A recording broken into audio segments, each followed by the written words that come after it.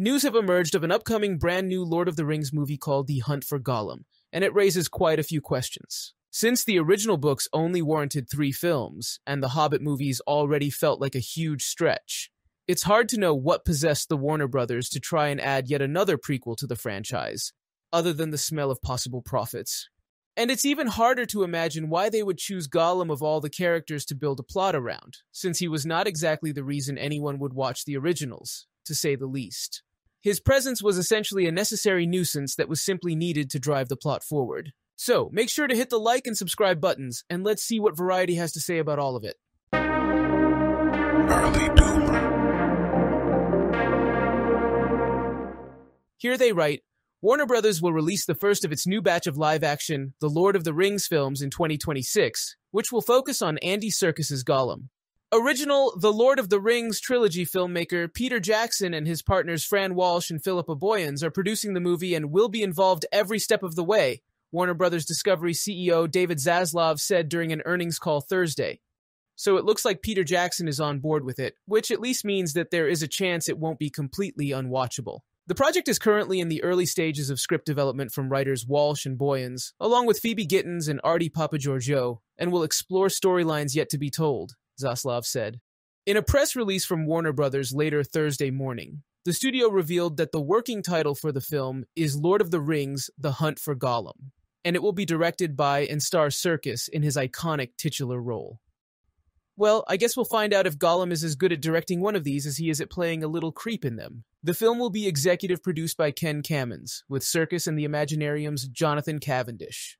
Warner Brothers first announced in February 2023 that then newly installed studio leaders Mike DeLuca and Pam Abdy had brokered a deal to make multiple films based on the beloved J.R.R. Tolkien books. Okay, but they've already made multiple films based on the books. So, what exactly is this one going to be based on? The projects will be developed through WB label New Line Cinema.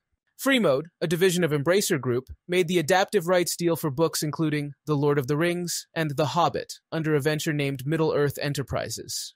A separate animated Middle Earth movie, The Lord of the Rings, The War of the Rohirrim, is due on Dixture 13 via Warner Brothers and director Kenji Kamiyama. That movie is set 200 years before the events of The Hobbit. Well, that does sound like it could be good, so I guess at least it may recoup some of their losses if the Gollum film flops hard.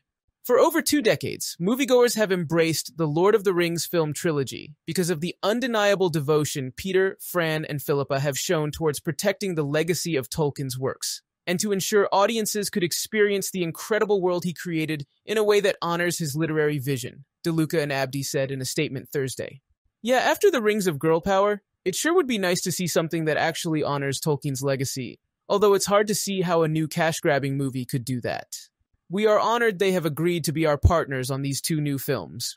With Andy coming aboard to direct Lord of the Rings, The Hunt for Gollum, we continue an important commitment to excellence that is a true hallmark of how we all want to venture ahead and further contribute to the Lord of the Rings cinematic history.